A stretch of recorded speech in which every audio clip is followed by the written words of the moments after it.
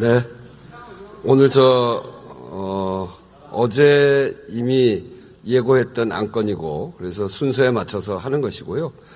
어, 이 법안이 통과돼도 그 필리버스터를 하지 않으면 대정부 질의를 그대로 진행되는 거기 때문에 필리버스터를 한다고 일찍부터 그러니까 공식적으로 예고를 그게 했습니까? 고- 그게 확정이 되면 그러면 돌려보내 드릴 겁니다. 근데 왜, 왜 의사 진행 순서를 어제는, 어제는 제일 뒤순서로 하고 오늘은 왜 앞으로 하고 왜 호떡집, 어, 호떡 뒤집듯이 왜 이렇게 의사 일정을 마음대로 하십니까? 아니 순서대로 하는 거예요. 왜 민주당 마음대로, 민주당 시키는 대로 왜 의, 의장님께서 의사 진행을 하십니까? 민주당 시키는 대로 아니고요. 순서에 정해놓은 대로 하는 겁니다. 왜 앞뒤가 안 맞게 일관성이 없게 이렇게 진행을 하십니까? 네, 잘 알았습니다. 그러면 들어가시죠. 오시지 말게 했어야 되는 거 아닙니까? 아니, 네, 들어가시죠. 이러니까 우리 의원들이 의장님께 인사를 안 하는 겁니다. 네, 잘 알았습니다. 들어가시죠.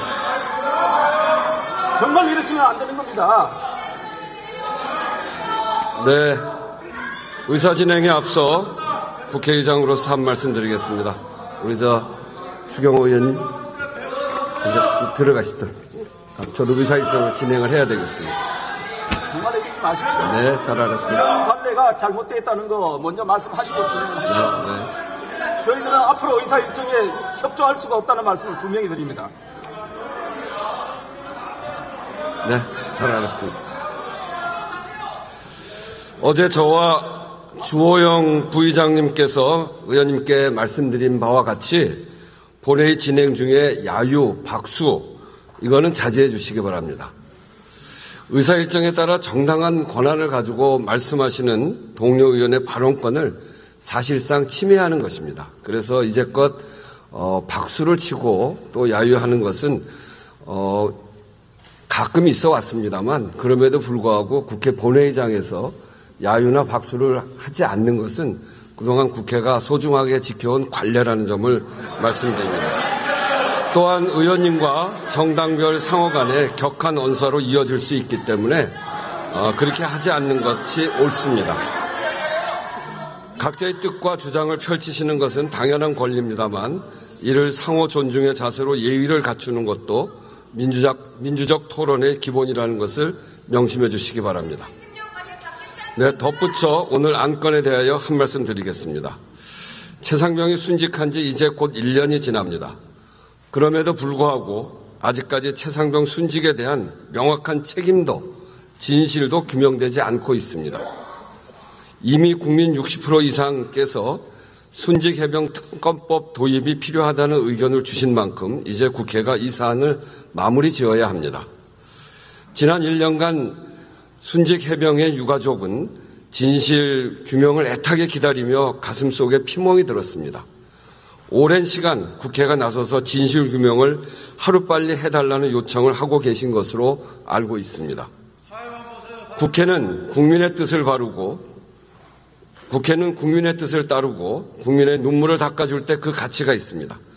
21대 국회부터 지금까지 나라를 지키던 군인의 억울한 죽음의 진상을 규명하기 위해 순직 해병 특검법이 발의되었고 이제는 국민의 뜻에 따라 유가족의 눈물을 닦아주기 위해 국회의 결단이 필요한 시점입니다.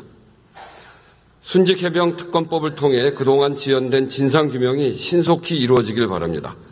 특검을 통해 그동안 국민께서 가지셨던 의혹과 진상이 해소될 수 있기를 바랍니다.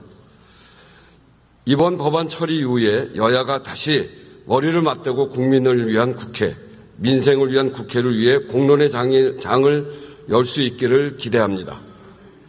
끝으로 윤석열 대통령과 어, 그리고 정부에도 요청드립니다. 순직 해병 특검법이 본회의를 통과하게 될 경우 본 법안은 정부로 이송됩니다. 정부는 민심이 요구하는 바를 잘 받아들여 현명한 결정을 내려주시기를 바랍니다. 국회는 정부의 행정 권한을 존중하고 있습니다. 그런 만큼 정부에서도 국회의 입법 권한을 존중해서 신중한 판단을 해주시기 바랍니다. 국회의장, 국회의장이 어느 당 편을 든다고 이야기, 하시는데 국회의장은 그렇게 하지 않습니다. 국회의장이 무당적이라고 하는 그 정신을 잘 이해하고 있습니다.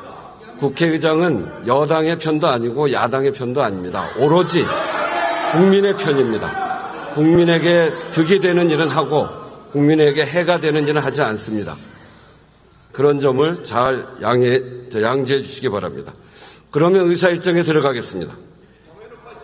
의사일정 제1항 순직 해병 수사 방해 및 사건 은폐 등의 진상규명을 위한 특별검사의 임명 등에 관한 법률안을 상정합니다.